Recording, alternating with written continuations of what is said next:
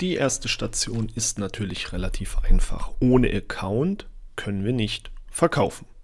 Natürlich gibt es die Möglichkeit über den eigenen Amazon Login, den ihr habt, wo ihr selber einkauft, auch ein Login im Seller Central zu haben. Das ist eigentlich aus den Zeiten gewachsen, wo man schnell und einfach mal gebrauchtes Buchen, gebrauchtes Spiel, eine gebrauchte DVD einfach wiederverkauft habt.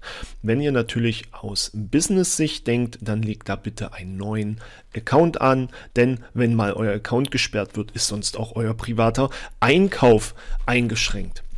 Ja, wie geht das? Nun, Ihr geht ganz normal auf die Amazon-Seite, Seller Central, Konto anmelden, einrichten, wie auch immer.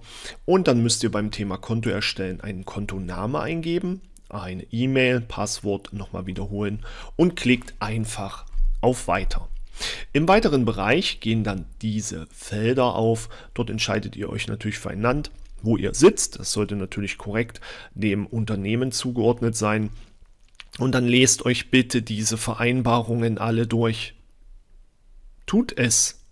Ja, tut es bitte. Und ansonsten geht es natürlich dann in die gängigen Schritte weiter.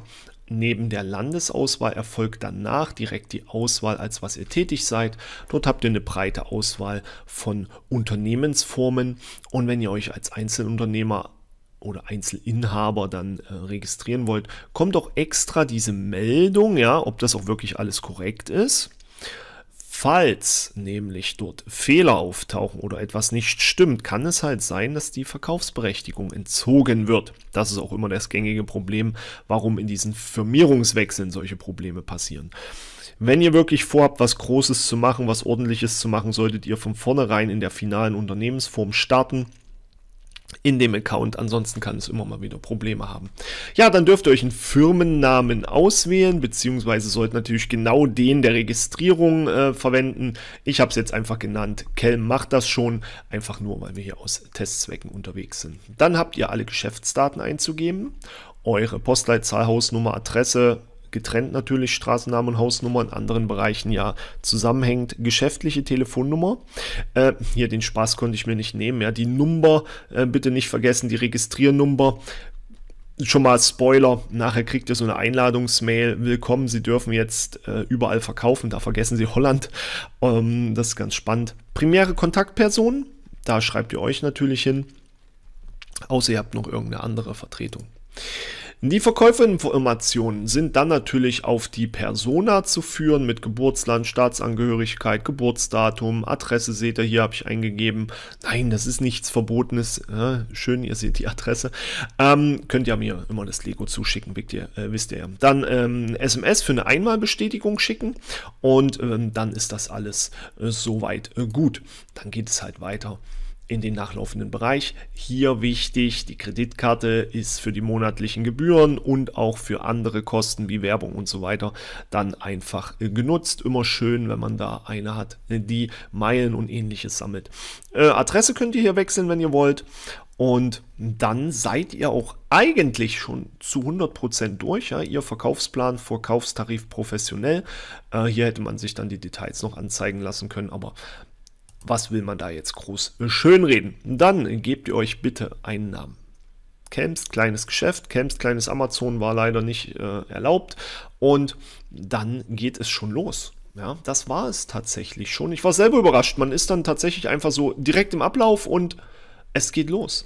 Bevor es jedoch direkt losgeht, macht das zwei Schritte Verifizierung ist Pflicht. Noch bevor ihr euch freut, dass ihr jetzt ein Konto habt, das direkt einrichten. Habe ich natürlich sofort gemacht.